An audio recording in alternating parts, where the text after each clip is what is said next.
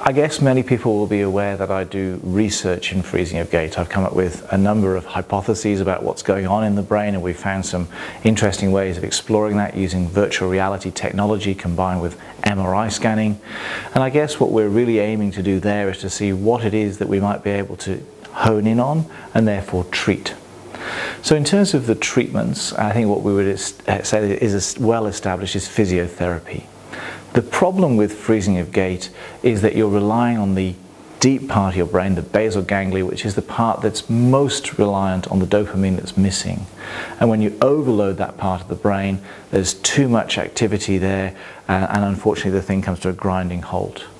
When we ask people to do physiotherapy and things like the, the, the, the, the big movement programs that you'll see out there, effectively what you're doing is you're relying on the part of the brain, the cortex, the thinking part of the brain, to make those movements. And of course, what that relies on is a lot of thinking, and of course, normally we don't do that. I see a lot of frustration uh, between partners and patients where the partner will say, look, I just, I keep saying to him or her, look, you have to lift your feet up, you have to do this properly. And the truth is, of course, that we all cut corners. Many of us who drive a car will not drive a car today as we did on our driving test. We'll take shortcuts where we're not turning our head properly or making exaggerated movements. And the reason is because it's very demanding on the brain. So physiotherapy where we're trying to make it, if you like, a conscious movement more automatic so that you drill into somebody, you have to make these large movements, can be beneficial. The risk of, of, freezing, of course, comes down to falls. So again, the physiotherapist can help with balance and here we strengthening exercise for the core. So these programs can also be also very, very helpful in that regard.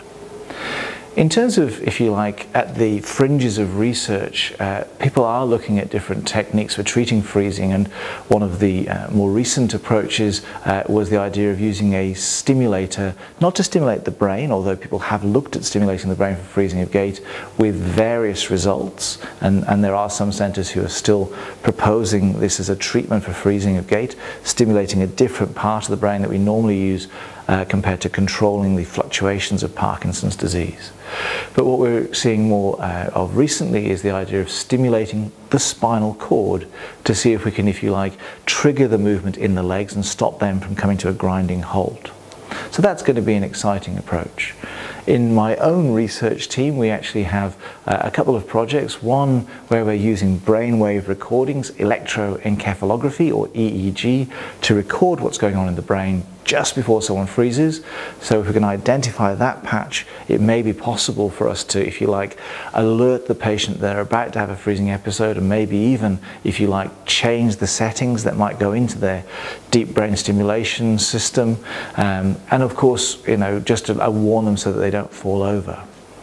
One of the other things that we're currently doing is research where we capture uh, the electrical signals within the brain. And the way that we're doing that is in uh, co collaboration with some fantastic uh, doctors um, where we are actually going to the operating theatre and recording from the deep electrodes that are put in during the surgery for Parkinson's disease.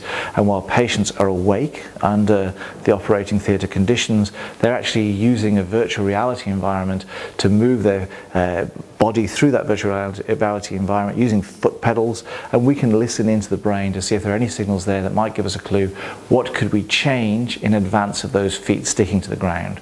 As I say, these are at the edge of our research knowledge at the moment, but it is encouraging that people are trying to find new approaches that will help with reducing this terrible symptom.